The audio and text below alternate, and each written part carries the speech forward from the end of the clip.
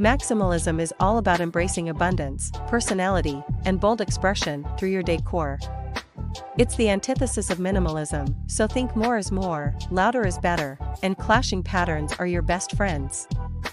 Here are some tips on how to decorate a maximalist style interior. Embrace color and pattern. Don't be afraid to go bold with your color palette. Think jewel tones, saturated brights, and unexpected combinations. Layer patterns on top of each other, mixing florals with geometrics, stripes with animal prints.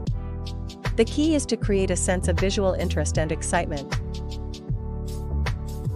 Collect and curate. Maximalism is all about showcasing your personality and collections. Gather together your favorite objects, from travel souvenirs to vintage finds to family heirlooms. Display them in unexpected ways, on shelves, walls, and even hanging from the ceiling. Don't worry about matching or being too symmetrical. Let your collections tell a story. Texture is your friend. Play with different textures to add depth and dimension to your space. Think velvet cushions, woven throws, metallic accents, and rough-hewn wood furniture. The more tactile your space feels, the more inviting it will be.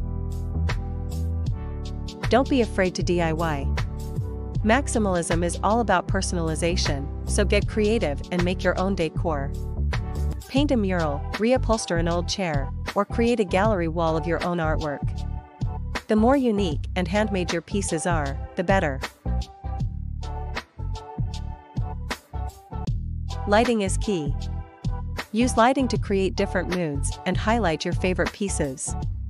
Layer overhead lighting with floor lamps, table lamps, and even string lights.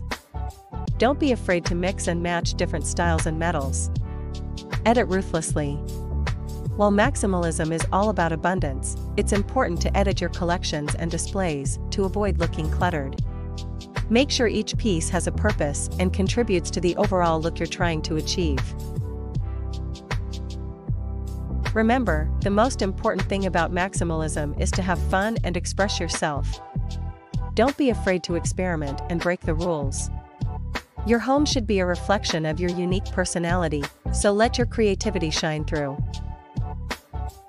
Here are some additional tips for decorating a small space in a maximalist style. Use large-scale patterns to make the space feel bigger. Hang mirrors to reflect light and create an illusion of spaciousness. Use furniture with clean lines to avoid making the space feel cluttered. Keep the floor clear to maximize visual space. With a little planning and creativity, you can create a maximalist interior that is both stylish and functional, even in a small space.